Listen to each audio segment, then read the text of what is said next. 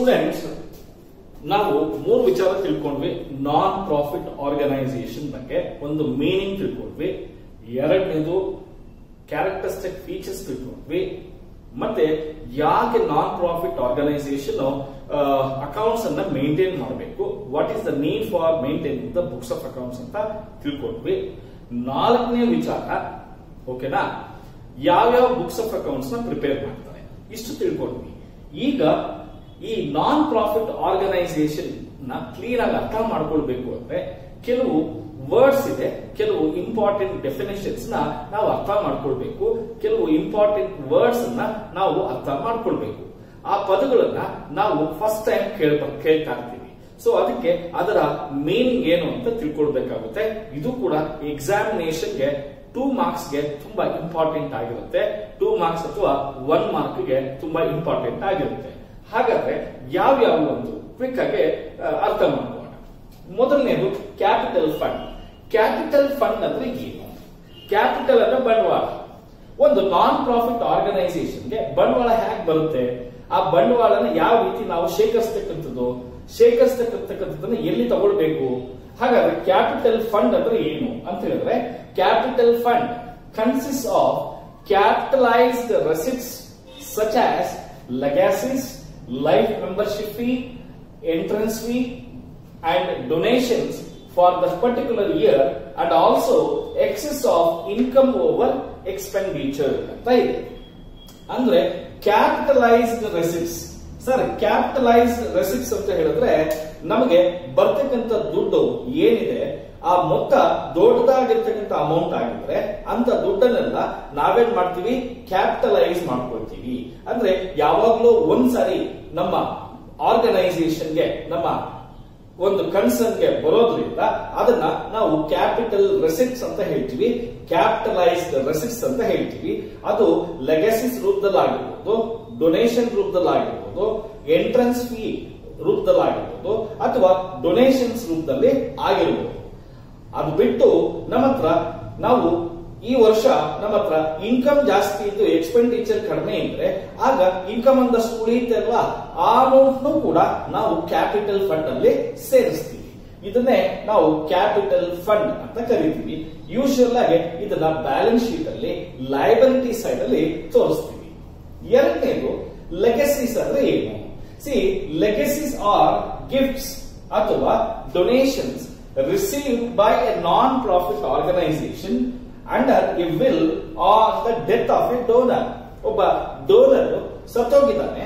ಅವನು ಸತ್ತೋಗೋದಕ್ಕೆ ಮುಂಚೆ ಒಂದು ವಿಲ್ ಅನ್ನ ಬರೆದಿಕ್ಕಿದ್ದ ಏನ ವಿಲ್ ಅಲ್ಲಿ ಇತ್ತು ಅಂತ ಹೇಳಿದ್ರೆ, ನನ್ನ ಎಲ್ಲಾ ಪ್ರಾಪರ್ಟೀಸ್ ಈ ತರದ ಒಂದು ಏನು ಚಾರಿಟಬಲ್ ಆರ್ಗನೈಸೇಷನ್ಗೆ ಅಥವಾ ಈ ತರದ ಒಂದು ನಾನ್ ಪ್ರಾಫಿಟ್ ಆರ್ಗನೈಸೇಷನ್ಗೆ ಸಲ್ಲಬೇಕು, ಹೋಗ್ಬೇಕು ಅಂತ ಹೇಳಿ ವಿಲ್ ಬರ್ದಿಟ್ಟಿದ್ರೆ ಅಂತ ವಿಲ್ ಅಲ್ಲಿ ಬರ್ದಿರ್ತಕ್ಕಂತಹ ಓಕೆನಾ ಎಲ್ಲ ಪ್ರಾಪರ್ಟೀಸು ಏನಂತ ಹೇಳ್ತೀವಿ ಡೊನೇಷನ್ಸ್ ರೂಪದಲ್ಲಿ ಗಿಫ್ಟ್ಸ್ ರೂಪದಲ್ಲಿ ಯಾರಾದ್ರೂ ಡೋನರ್ ನಮಗ್ ಕೊಟ್ಟಿದ್ರೆ, ಯಾರಾದ್ರೂ ದಾನಿ ನಮಗೇನಾದ್ರೂ ಕೊಟ್ಟಿದ್ರೆ ಅಂತದನ್ನೇ ಲೆಗಸಿಸ್ ಅಂತ ಹೇಳ್ತೀವಿ.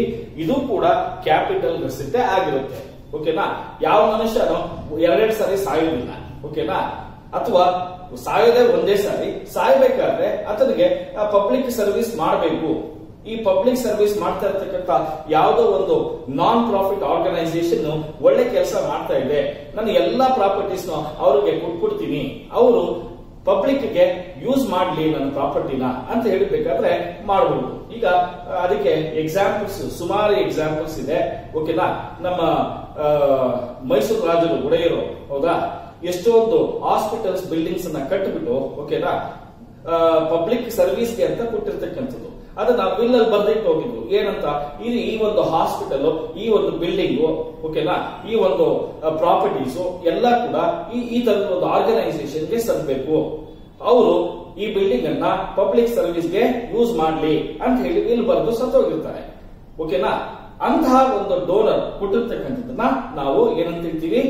ಲೆಗಸೀಸ್ ಅಂತ ಹೇಳ್ತೀವಿ ನೆಕ್ಸ್ಟ್ ಎಂಡೋಮೆಂಟ್ ಫಂಡ್ ಅಂತ ಎಂಡೋಮೆಂಟ್ ಫಂಡ್ ಅಂದ್ರೆ ಏನು see any property or money any money or property given by way of gift by a donor to a non-profit organization so as to per- provide a permanent means of support to the public. ನೋಡಿ, ಇಲ್ಲಿ endowment fund ಅಂತ ಹೇಳಿದ್ರೆ see for example ನಿಮ್ಗೆಲ್ಲ ಸ್ಕೂಲಲ್ಲಿ ಅಥವಾ colleges ಅಲ್ಲಿ endowment price ಅಂತ ಕೊಟ್ಟಿರ್ತಾರೆ. ಎಂಡೋಮೆಂಟ್ ಪ್ರೈಸ್ ಅಂದ್ರೆ ಏನು? ಯಾವುದೋ ಒಂದು ವ್ಯಕ್ತಿ ಓಕೆನಾ ಒಂದಷ್ಟು ದುಡ್ಡನ್ನ ಆ ಇನ್ಸ್ಟಿಟ್ಯೂಷನ್ ಅಲ್ಲಿ ಅಥವಾ ಆರ್ಗನೈಸೇಷನ್ ಅಲ್ಲಿ ಡೆಪಾಸಿಟ್ ಮಾಡಿರ್ತಾರೆ. ಆ ಡೆಪಾಸಿಟ್ ಮಾಡಿರ್ತಕ್ಕಂಥ ದುಡ್ಡಲ್ಲಿ ಒಂದಷ್ಟು ಇಂಟ್ರೆಸ್ಟ್ ಬರುತ್ತೆ. ಆ ಇಂಟ್ರೆಸ್ಟ್ ಅನ್ನ ಆ ಡೋನರ್ ಹೇಳಿರ್ತಾನೆ. ಏನಂತ? ನೋಡಪ್ಪ, ಈ ವರ್ಷ ಯಾರು ಹೆಚ್ಚು ಮಾರ್ಕ್ಸ್ನ ತಗೊಂಡು ಪಾಸ್ ಆಗಿರ್ತಾರೆ. ಓಕೆನಾ ನಿಮ್ ಕಾಲೇಜಲ್ಲಿ ಟಾಪರ್ ಅಂತ ಯಾರಿರ್ತಾರೆ ಅವ್ರಿಗೆ ಆ ಎಂಡೋಮೆಂಟ್ ಫಂಡ್ ಅಲ್ಲಿ, ಆ ದುಡ್ಡಲ್ಲಿ ಬಂದಿರತಕ್ಕಂತ ಬಡ್ಡಿನ ಏನ್ ಮಾಡಿ? ಅವ್ರಿಗೆ ಪ್ರೈಸ್ ಆಗಿ ಕೊಡಿ ಅಂತ ಹೇಳ್ತಾರೆ. See it is a gift in the form of maybe money or in the form of property given by way of gift to the non profit organisation to a non profit organisation so as to provide a permanent means of support. ಹೇಳಿ so it is treated as a capital receipt ಅಂತ ಹೇಳ್ತೀವಿ. ಓಕೆನಾ it is treated as a capital receipt next honorarium sir honorarium ಅಂದ್ರೆ ಏನು? ಗೌರವಧನ. C ನಮ್ಮ ಒಂದು non profit ಆರ್ಗನೈಸೇಷನ್ಗೆ ಅನೇಕ ವ್ಯಕ್ತಿಗಳು ಓಕೆನಾ ಬರ್ತಾ ಇರ್ತಾರೆ, ಹೋಗ್ತಾ ಇರ್ತಾರೆ. ಸೊ ಯಾವುದೋ ಒಬ್ಬ ಗಣ್ಯ ವ್ಯಕ್ತಿ ಬಂದಿದ್ದಾರೆ. ಅವರು ಬಂದು ನಮ್ಮ ಮೆಂಬರ್ಸ್ ಉದ್ದೇಶಿಸಿ ಒಂದು ನಾಲ್ಕು ಒಳ್ಳೆ ಮಾತು ಹೇಳಿದ್ದಾರೆ. ಓಕೆನಾ ಅವರು ಬಂದು ಹೋಗಿ ಅವ್ರು ಹೇಳಿರೋ ನಾಲ್ಕು ಮಾತುಗಳು ಒಳ್ಳೆ ಮಾತುಗಳಿಗೆ ನಾವು ಅವರ ಗೌರವ ಸೂಚಿಸಿ ಅವ್ರಿಗೆ ಒಂದಷ್ಟು ದುಡ್ಡನ್ನ ಕೊಡ್ತೀವಿ. ಅದನ್ನೇ ಹಾನರೋರಿಯಂ ಅಂತ ಹೇಳ್ತೀವಿ. It is the payment it is the payment to a person for the services rendered by him to the organisation ಯಾವ ವ್ಯಕ್ತಿ ಬಂದು ಯಾವ್ದಾದ್ರೂ ಒಂದು ಸೇವೆಯನ್ನು ಸಲ್ಲಿಸಿ ಓಕೆನಾ? ಅವರು ಸೇವೆಯನ್ನ ಒಂದು ನಾನ್ ಪ್ರಾಫಿಟ್ ಆರ್ಗನೈಸೇಷನ್ ಸಲ್ಲಿಸಿ ಹೋಗ್ಬೇಕಾದ್ರೆ, ಆ ನಾನ್ ಪ್ರಾಫಿಟ್ ಆರ್ಗನೈಸೇಷನ್ ಕೊಡ್ತಕ್ಕಂತಹ ದುಡ್ಡನ್ನ ನಾವು ಹಾನರೋರಿಯಂ ಅಂತ ಹೇಳ್ತೀವಿ. ಇದು ರೆವೆನ್ಯೂ ಎಕ್ಸ್ಪೆಂಡಿಚರ್ ಪ್ರತಿ ಸಾರಿ ಬರ್ತಾ ಇರ್ತಾರೆ ಹೋಗ್ತಾ ಇರ್ತಾರೆ ನಾವು ಪ್ರತಿ ಸಾರಿ ಅವ್ರಿಗೆ ಕೊಡ್ತಾ ಇರ್ಬೇಕಾಗುತ್ತೆ. ಅದಕ್ಕೋಸ್ಕರ ಅದನ್ನ ರೆವೆನ್ಯೂ ಎಕ್ಸ್ಪೆಂಡಿಚರ್ ಅಂತ ಕರಿತೀವಿ. Next entrance fee entrance fee ಅಂದ್ರೆ ಏನು? Entrance fee is nothing but admission fee ಅಥವಾ entrance fee collected from members by on their admissions ಒಂದು ನಾನ್ ಪ್ರಾಫಿಟ್ ಆರ್ಗನೈಸೇಷನ್ಗೆ ಅಡ್ಮಿಷನ್ ಆಗ್ಬೇಕಾದ್ರೆ ಅವ್ರು ಕೊಡ್ತಕ್ಕಂತ ಫೀಸ್ ಅನ್ನ ನಾವು ಅಡ್ಮಿಷನ್ ಫೀ ಅಥವಾ ಎಂಟ್ರೆನ್ಸ್ ಫೀ ಅಂತ ಕರಿತೀವಿ.